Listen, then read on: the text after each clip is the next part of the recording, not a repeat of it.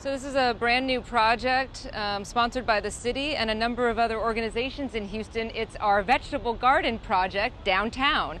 We had pots donated from Park and Rec. We had plants donated from Urban Harvest. We had soil donated from Keep Houston Beautiful. And we had all the city staff in this wonderful building uh, decide to volunteer their time and their hours to plant vegetable gardens in downtown.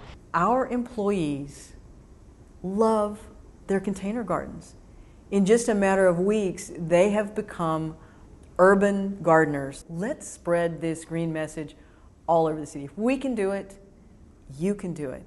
And so when they start thinking about that, then they start thinking about the cars that they drive. And they start thinking about where they work. And these things start to feed one upon another. And all of a sudden, you're going to get a person who wants to buy a car that's electric. You're going to get a person that wants to work in a LEED certified building.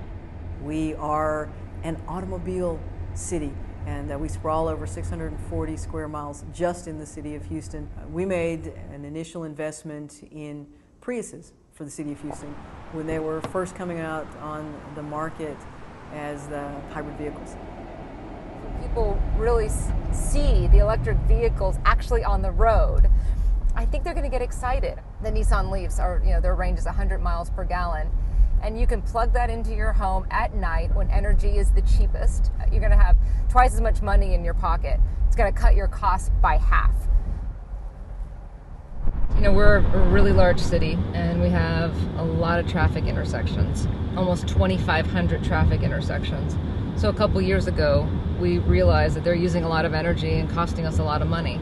So we started piloting LED uh, technology in our traffic lights. It worked. And so now we've replaced almost all of our 2,500 traffic lights with LED traffic lights.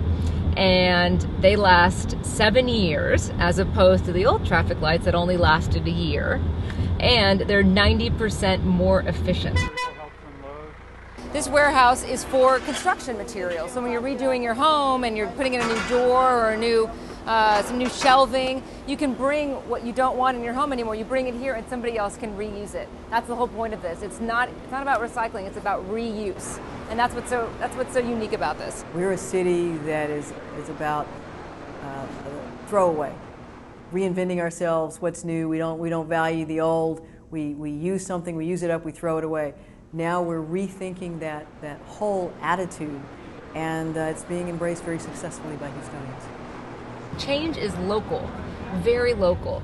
And when you start small, then these things can just build upon each other. And so I really think Houston is on a tipping point of being one of the greenest cities in the nation.